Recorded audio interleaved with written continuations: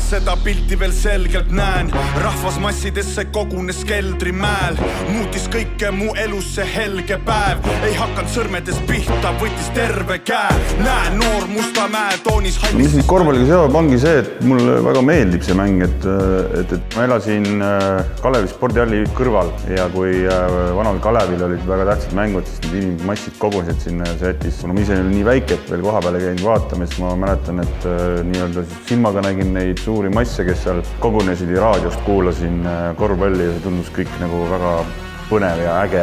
ja mu hing on sedasi koos su küljes ja elan ja sa kindlalt tead kedagi, kes hingab ja elab mängukirjast kirjani, pinges lõpuvileni.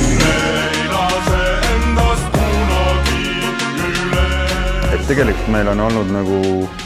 aastaid-aastaid eh, minul erinevate korvpalliliidu meestega nii-öelda niisugune off-record jutt, et võiks mingi korvpallilaulu teha ja, ja iga ühe-kahe aasta tagant kerkib see idee jälle esile ja, ja, ja see aasta kuidagi lõpuks siis need asjad jooksid kuidagi niimoodi kokku, et äh, mõtlesin ikka, et peaks selle asja ära tegema. hambaplokid, taltsipukid, Kalevi vana üks ja metstaki küünarnukid. me hingame seda mängu ühes rütmis. ja eesmärk oli siis luua selline epiline laul, mis samas kajastaks ka siis minu äh, äpardunud korvpallikarjääri ja seda, et et äh, kuigi ma selles asjas andekas ei olnud, aga kuna see mäng on nii äge ja nagu laulus nad ütlevad, et ega see mäng mind ei sallinud ja mina, mina armastasin teda ja vastu armastust ei saanud, pigem sain väljakul küünarnukiga vastu lõugu poodi et seda personaalset touch'i oleks ka laulus sees, et et seda me ka tegime ja muidugi see laul võiks olla